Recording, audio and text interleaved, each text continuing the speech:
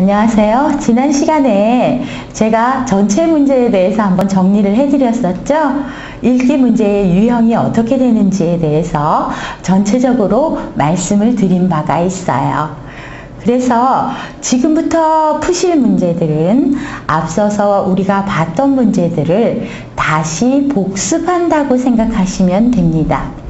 중요하다고 했던 문제의 유형들을 다시 여러 개를 묶어서 푸는 거니까 어렵은 것은 없을 거예요. 어렵다고 생각하지 마시고 차근차근 문제를 푸시면서 읽기를 풀어가는 과정 자체가 문제를 잘 풀기 위한 연습이라고 생각하시면 돼요.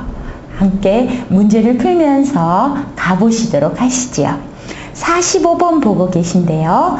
이제 유형 자체는 앞에서 정리를 했기 때문에 여러분들이 너무 어렵게 생각하실 건 없어요. 45번에 중심 생각이 보이시지요? 중심 생각 어떻게 말씀드렸죠? 중심 생각은 그래서 가장 중요하게 하고 있는 말이 무엇인지를 뽑는 것이다. 아래를 봤더니 문제 하나가 더 있죠.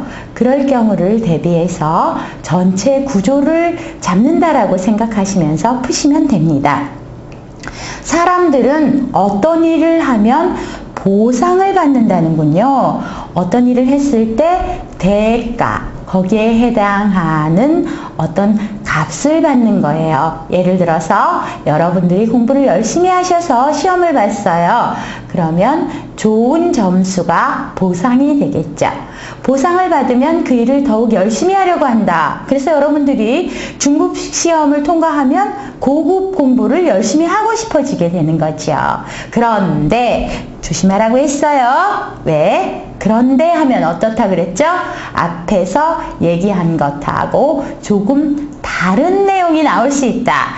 이런 보상 효과는 보상이 불규칙적으로 일어날 때, 그러니까 보상이 똑같지 않을 때 더 크게 나타난다. 했죠.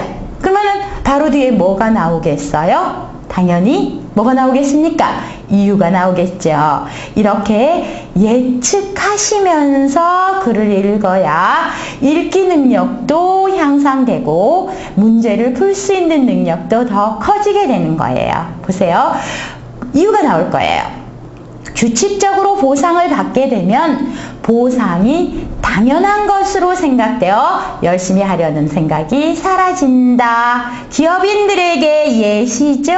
예시라는 것은 앞에서 얘기했던 것들을 더 알기 쉽게 하기 위해서 예를 들어주는 거예요. 직원들에게 보너스를 줄 때, 직원들에게 보상을 줄 때 시기와 방법을 알려주지 않는 것도 이와 같은 이유 때문이다. 불규칙적으로 주어야 그게 더 높기 때문이다. 라고 말했어요. 가로가 나오기 전에 이미 뭐가 나왔어요? 중심 생각이 나왔습니다. 중심 생각이 뭐라고요? 보상은 불규칙적인 것이 보상은 불규칙적인 것